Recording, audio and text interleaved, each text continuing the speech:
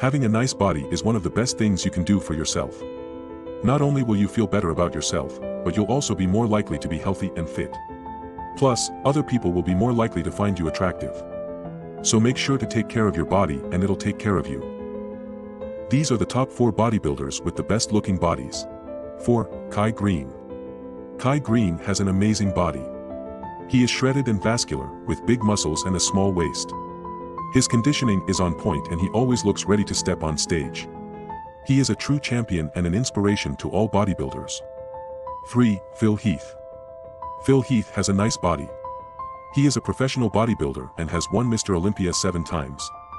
His body is an amazing sight to behold. 2. Jay Cutler. Jay Cutler is one of the most well-known bodybuilders in the world.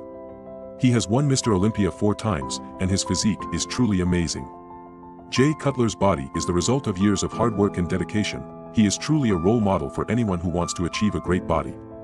1. Ronnie Coleman. Builder. Ronnie Coleman is a former American professional bodybuilder. Coleman was born in Louisiana and began weightlifting in high school. He won the Mr. Olympia title eight times, and his record-breaking run of 26 consecutive professional wins is one of the longest in bodybuilding history. Coleman is widely regarded as one of the greatest bodybuilders of all time.